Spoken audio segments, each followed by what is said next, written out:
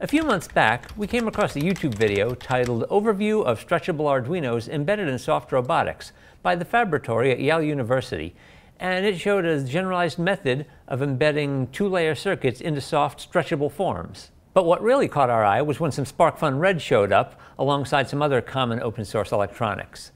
Now, in our continued effort here at SparkFun to live lives of joyous curiosity, we wanted to know more, so we reached out to one of the researchers, Stephanie Woodman, a PhD student and NASA fellow, to learn more about this crazy, wild, futuristic world of soft robots. Hi, Stephanie. Thank you so much for taking the time today to chat with us. Yeah. Um, can you just give us a brief introduction? Tell us who you are and where you're currently doing your research? Yeah, I'm uh, Stephanie Woodman. I've been at Yale for five years getting my PhD done with Rebecca Kramer Bottiglio in the Faboratory. Nice, very cool. And the Faboratory is where you're doing all your work? Yeah, that's the name of our lab inside the mechanical Excellent. engineering department. I love that. Great. So I I don't like to assume that everybody knows everything that's going on in the world of robotics. I know I sure don't. So could you just give us a, a quick overview, explain soft or stretchable robotics? Yeah, yeah. So in some ways, in a lot of ways, it's exactly what it sounds like. So robots made with um, soft and stretchable materials, either in part or in full. I think a lot of the research goals are, hey, if we can make the the whole robot soft, every component of the robot, the computation, the sensing, the uh, actuation, soft, then that would be kind of like the pinnacle. Not that it would be purely necessary, at least in the current applications that I think of, but if we could do that, then we would have overcome a lot of challenges um, that we want to solve in the real world, like wearables, surgical applications, um, safe human robot interaction, that kind of thing. Great. And I mean, with humans being 85% soft and humanoid robots being such a force right now in the industry, it makes perfect sense. Yeah, absolutely. That's definitely where the inspiration came from, um, from biological creatures. So, like octopi can do all these amazing tasks underwater, open jars, squeeze through small spaces. And we think if our robots can do a similar thing, they'll have attained a lot of functionality from the current examples. Very cool. Very cool. Yeah. So I guess this kind of leads off of that. Why why did you start working on stretchable electronics? What was what was your interest in the field initially?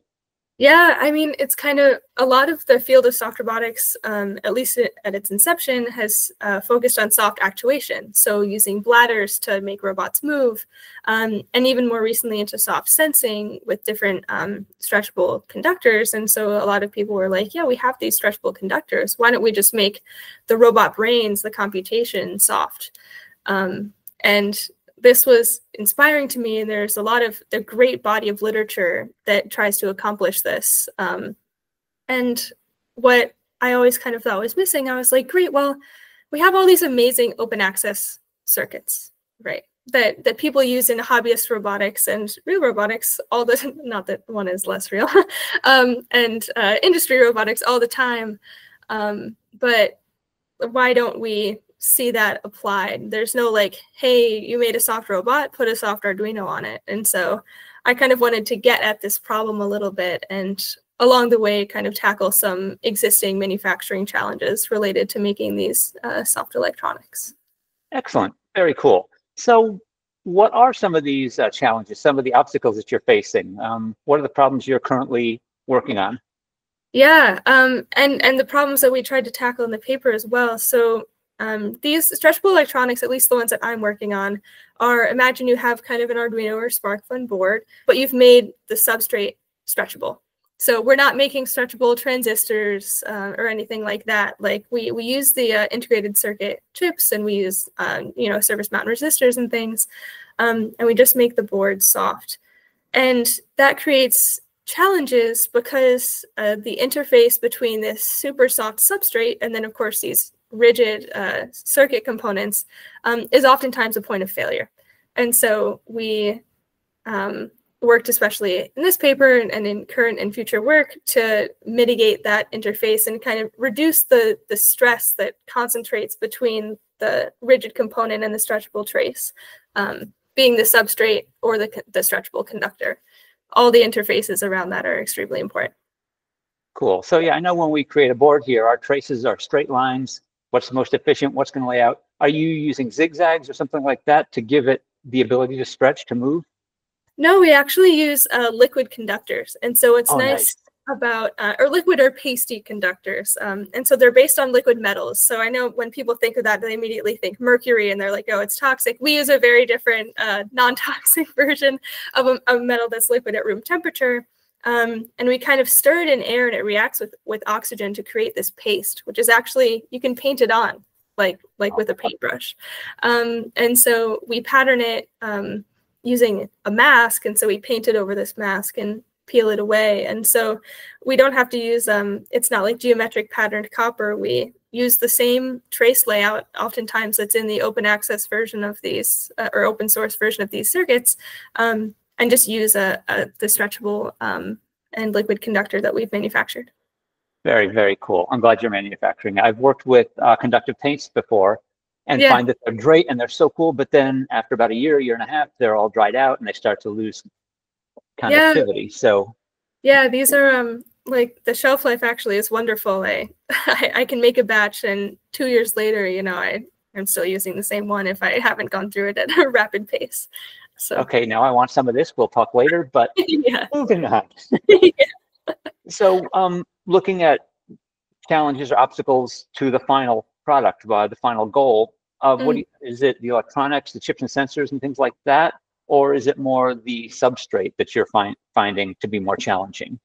Yeah, it's the interfacing. So I think there are a couple of different, uh, I guess, two different sects of stretchable electronics. There are researchers working on making soft transistors, making like, so instead of um, the stretchable board with rigid electronics, they're making, you know, we want to make the whole thing soft. Um, but due to just we have so there's so many transistors in every uh, chip that we use. Um, like the current the current designs can be spatially inefficient. So to maintain the current computational density, we want to use ideally the the same IC components that we're using in kind of state of the art electronics. And so I'd say the challenges are mostly with the interfacing, getting something that um, effectively mitigates that um, that stress concentration at the interface. And so the materials we have are good. I think we're going to have to look into methods of adhesion, maybe even like substrates that vary their stiffness throughout the material. So it's really stiff under an electronic component and it kind of becomes more soft. Um, and so something like that kind of design um, altogether. So. I love every bit of this. Coming from more of a, a background than an EE background, and moving over, I love I love every bit of what you're saying here. This is great. Thank you so much. Yeah, of course. So, we need it. so you've published all this on in GitHub, which is great. Thank you yeah. for that. We really appreciate it. But just could you walk us through the main stages of it?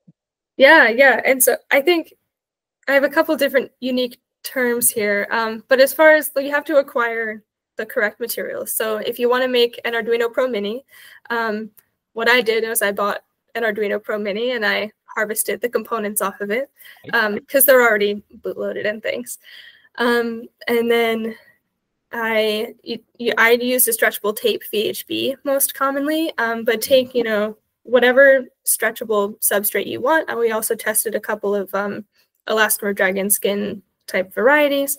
Um, and you sandwich that super thin piece of stretchable substrate between two pieces of um, sticker paper. And so it's kind of like the backing of a sticker because what uh, we found is that the adhesion between the electronic component and the substrate was really important. But of course, if we just use paper as our mask, it would just stick to it permanently. So something that can be removed. Um, and then you pattern um, with a laser, you cut through holes through it. So wherever you want a vertical, vertical interconnect access, you put that hole there. And that also cuts your board outline. Um, and then you put it in a laser to cut the traces on the, the bottom mask. Um, so not through the whole thing, just on the top. And you take it, flip it, and you cut the traces in the top mask. Um, and then starting with the bottom, you um, peel off where you want the conductive traces to be. Um, paint on your material, uh, encapsulate it, flip it, do the same exact thing, um, but before you encapsulate it, put on all of your electronic components um, and attach your wires. Very so, cool. Yeah, screen yeah. printing process. yeah, excellent.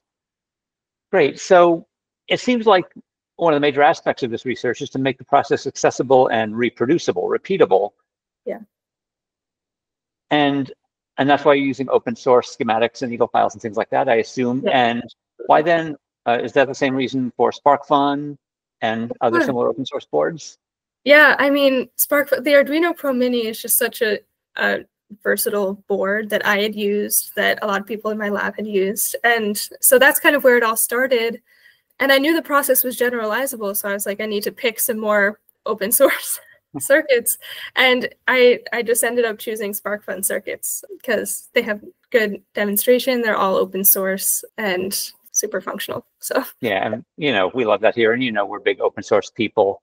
yeah, and and we love to see what people do with our stuff but we really love it when people are doing open source stuff with our open source stuff so that changes keeps going because yeah. you know I, i'm sure as you know you know we can think of a thousand things to do with each of our products but you put that out to a million people and they're each going to think of a thousand other things and it just Yeah. progresses it advances it so much quicker Yeah, absolutely. The um that's why the the GitHub I think will be an important place because I put all of my circuit designs on there and you know bill of materials, you know, an SOP, how to do everything. And I'm hoping people will adapt the process, add their own build files, add their own demonstrations. So it's very exciting. cool very cool so what is what does the future of soft robotics look like i know for me i've spent my life as an athlete and a dancer and i've had a lot of injuries and gone through a lot of pt and there would have been a great time when it was be like oh okay i can now bend this to 90 to 110 to 115 is that kind of the idea here for soft robotics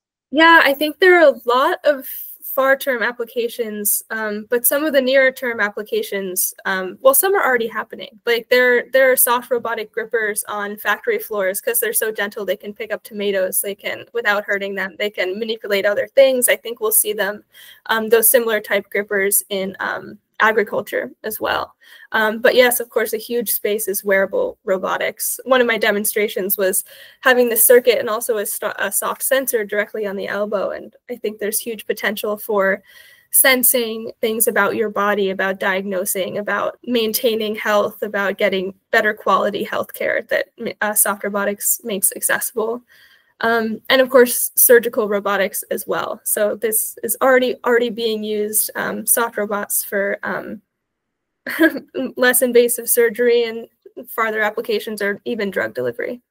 So nice Yeah. that's really cool Mm. so soft robotics very cool um where can people go to learn more about it do you have book recommendations research article recommendations white papers that you can share So a couple that I really I just actually wrote a research article, a, a review article, excuse me, that gets at a little bit of this, the state of the art of stretchable computation is, and so it attacks that and attacks that in kind of a larger context of what I want to accomplish, which is shape changing robots. And so this is a that's much farther down the line, but of course a necessary part of that will be stretchable sensing and stretchable computation, which I review in that paper. Um, and then there are a couple other great review articles um, that you have the link to about soft robotics in general. Um, and I would honestly like look it up on YouTube. There's some really cool videos out there on soft robotics, um, wearable robotics, um, energy harvesting and uh, devices for use on the human body. So it's it's a rapidly exploding space, and there's so much to learn. It is. It's it's coming at us fast, and and I love that you just casually throw out. Yes, I just wrote a review on a piece. yeah, yeah. No, it's good. It just it, it's a preprint that's now available. It'll be official in May. Um, but as Excellent. far as like special stretchable for it. computation, yeah, yeah, putting that. Good. Well, man, thank you, thank you so much for taking the time with us, for sharing your insight and your knowledge yeah, and your research. And I know I'm not the only one. I know there are tons of folks out there that are going to be really excited to hear about this and read about it and learn about it. yeah, so thank you. yeah. Of course. Thank you. Thank you for taking the time to interview me. I'm so excited that you get to put this out to the world. Oh, man, me too. Um, and thank you for everybody who joined us. And man, learn more. Soft robotics. Stephanie Woodman, Yale University, where I'm from. Thank you. And we'll see you guys in the next one.